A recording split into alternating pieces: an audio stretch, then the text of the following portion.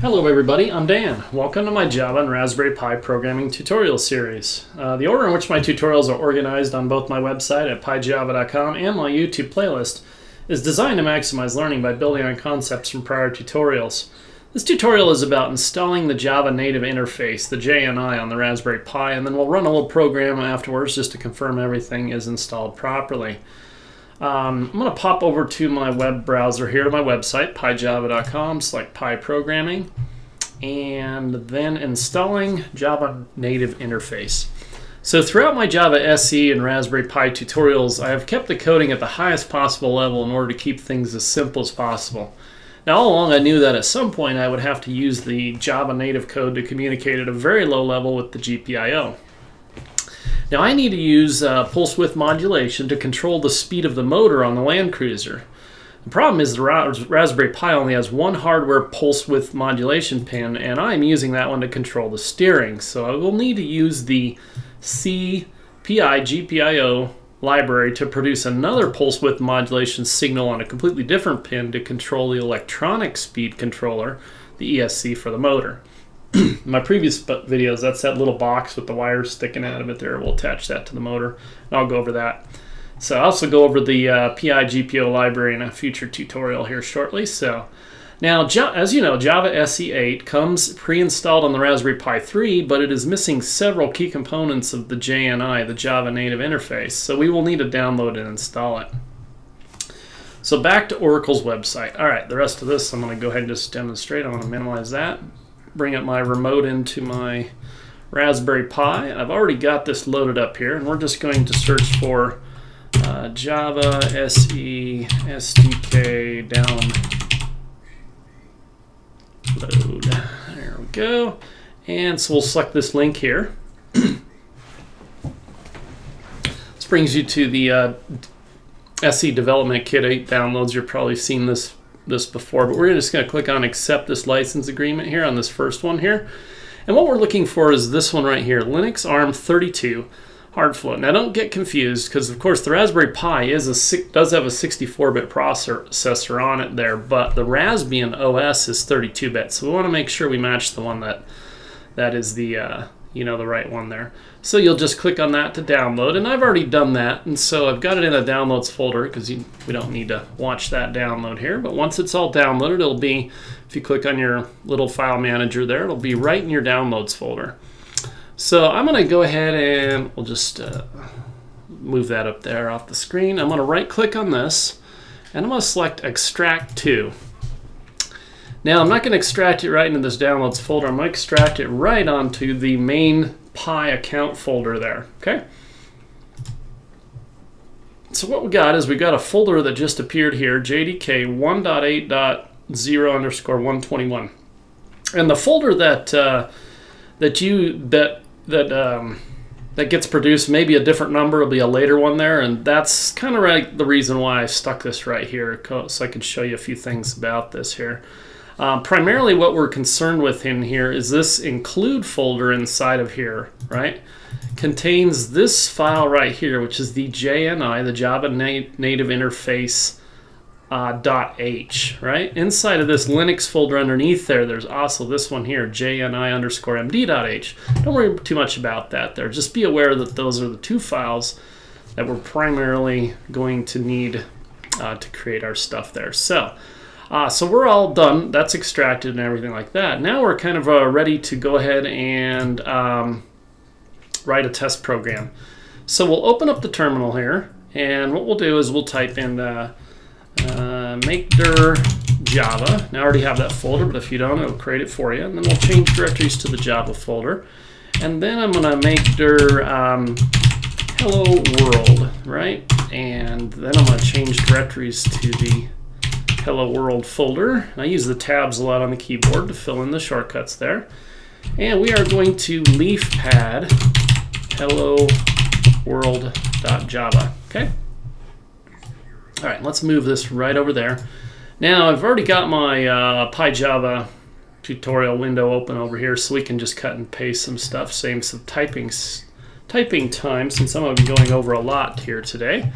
And we'll just paste this over here. So um, what you're going to see is if you're not, if you've never done this before, you're going to see public native and this native a keyword right there. Um, that'll come into play here because this is going to be the name of our uh, method here will be called greetings and we're going to be passing a parameter uh, string type okay now in this static code block which loads before the the main method there we're going to be loading a library called pyjava okay which doesn't exist right now and we're going to get an error message here in just a second when I show you how we try to run that without actually going through all the steps yet so in the main method entry point here I'm just simply creating a hello world reference variable of hello world type and a new hello world object, an object of this class. Very, fairly simple on that.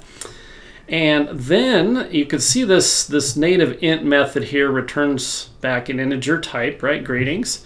We're invoking the greetings method for that object and um, we're passing in, go ahead and change this to your name. So type in whatever your name is before we save that there. And we're passing we're getting back an integer from it and then we'll display that to the console. You know thanks for passing back the number plus that number that really helps okay? All right so all in all not too bad save this.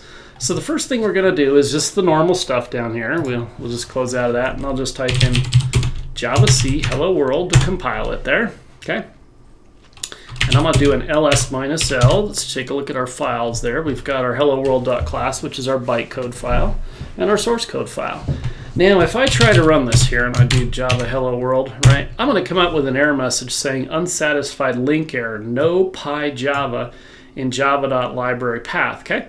And this, this will come into play there, so just keep that in the back of your mind on that, okay? So now what we're going to do, and I have all this stuff listed down down here too, right? We're going to type in java h minus jni for Java Native Interface Hello World. Okay, so java h minus jni Hello World. All right, so it'll return us back to the prompt there. Now if I do an ls minus l, we've got this hello world.h class. Uh, let's take a second to just take a look at it and see what's inside of it, since Java H built the header file for us. Okay, so the first line says do not edit this file, and that's that's a really good thing to know there. But basically this built the C header file style for us there. Um, I'll show you a few things about it. You know, they've got some comments. And if you're not familiar with C++ or C, it's really it's not all that much different than Java, you know, even though Java is like we are not C, we're not C++, you know, but whatever, right? And the greetings over here, as you'll remember, you might not, is the name of uh, the method that we specified up there. And this jint, right? The int is the uh, method return type, and this jstring, which is the third parameter, will actually be the name that we passed over. So uh, let's go ahead and close out of that. And so what we want to do now is we want to uh, create another program, a C++ program, leafpad, and we're just going to call this hello world.cpp. And uh, I could have done C, just hello world.c, but I want to do a C++ program on this initial one there. You can do C or C++. You can tie them in both on the native interface there. So I just want to do this in C++ initially. I'll probably do a mixture of C and C. C and C++ later on here, okay? So coming back over to my website, we'll just copy and paste this little C++ program that I've written there. And you'll notice up top here, um, hello world.h, that's the file that the Java H made for us there, okay? And um, this is basically our greetings method here we're getting in, um, and I specified this JString third parameter name. Now what I'm gonna do with name is I'm gonna take, it's in UTF format and I've got to do some stuff here, don't worry about that there, right? But S essentially becomes the name that we're passing in.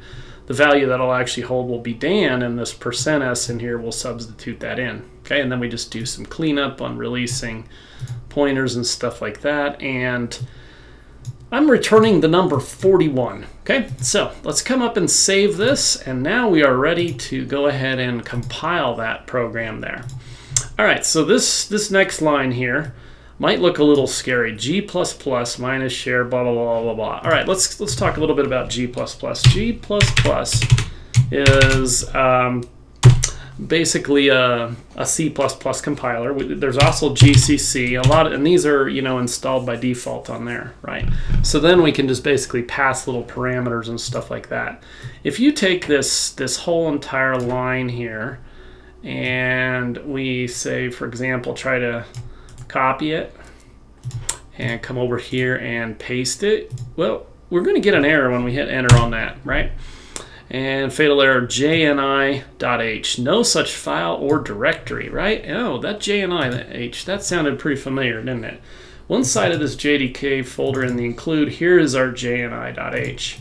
So um, when I created this command in the website there, you know, I put in this JDK version, and that's where you'll actually need to substitute whatever version you're on there, right? Because that folder name will vary, you know, in the future as, as uh, Oracle releases stuff there. So we're just going to go ahead and type this in G++ minus share. Don't worry about that right now. Minus I, and this is basically looking for include files.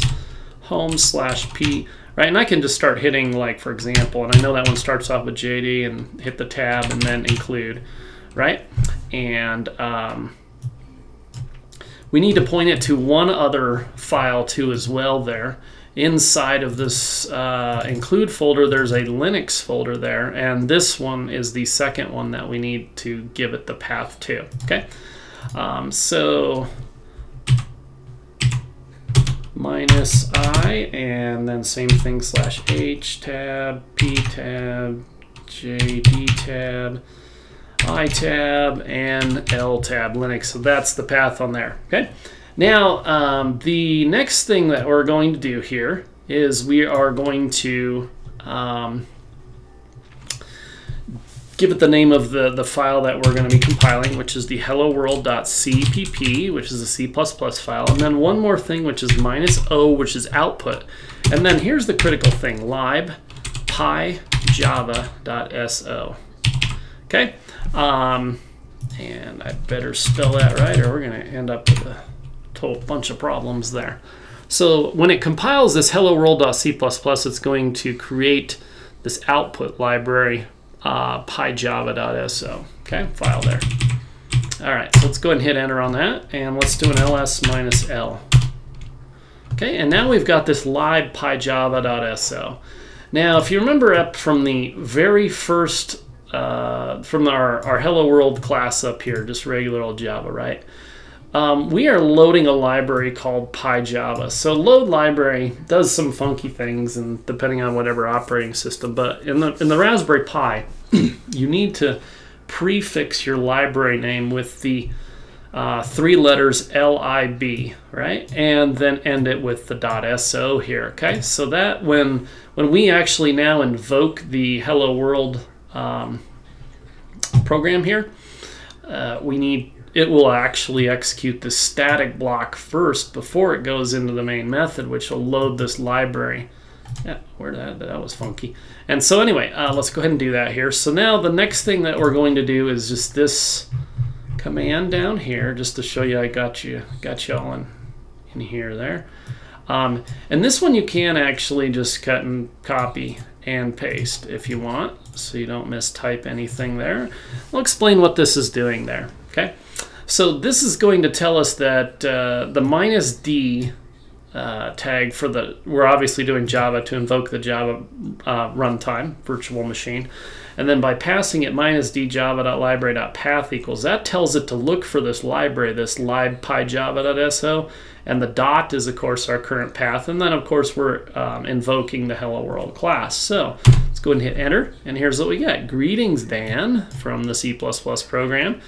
And then, gee, thanks for passing back the number 41. That really helps. Okay, so um, as you can see, going back up to the original source code file there, right, we passed our C, the C++ program, this parameter of Dan, and it passed us back this in I there. So you can kind of see the whole communications between uh, you know, a lower level um, machine kind of specific file and, you know, a, higher upper, upper level language like Java in this particular case there. So Anyway, um, I'm going to go ahead and minimize that, minimize this, and leave you guys just with uh, with a couple final thoughts there. So, um, you know, if this is your first time writing Java native code, well, then congrats. Uh, now we can move on into the world of Raspberry Pi GPO low-level control.